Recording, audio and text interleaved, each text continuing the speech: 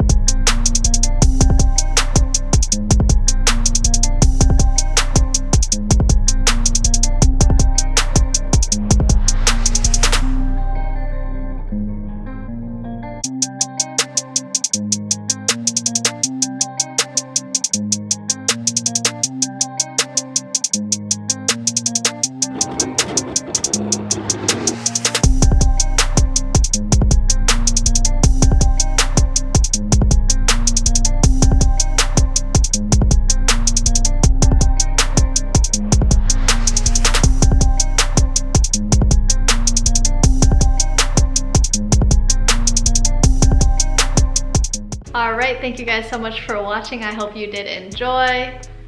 Here's a final look at these cleats. Got the wings, custom lace lock, laces, tongue tag. Yeah, a little Michigan theme.